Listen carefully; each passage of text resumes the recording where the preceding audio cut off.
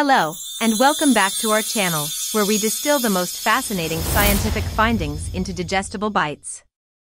In today's video, we're diving deep into a groundbreaking study from the Northwestern University Feinberg School of Medicine.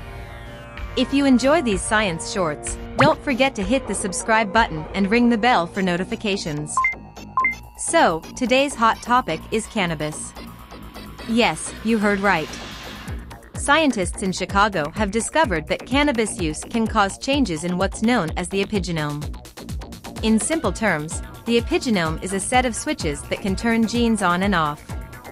And when these switches are flipped, it can alter the way our bodies function.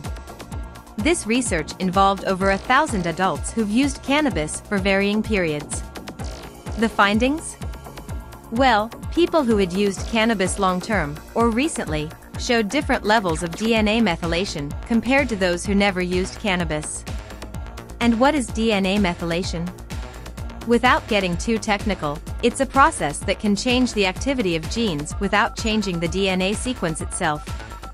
Why does this matter? Well, these changes in DNA methylation associated with cannabis use have been linked to a number of health conditions from cellular proliferation and hormone signaling, to infections, neurological disorders, and even substance use disorders. However, before you jump to conclusions, it's important to note that the study doesn't confirm that cannabis directly causes these changes, or results in health problems. In science, we always need more data, and this case is no different. More research is needed to determine the long-term effects of cannabis use on health.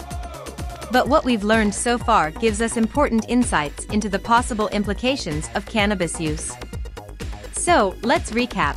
The study shows that cannabis use can cause changes in the epigenome.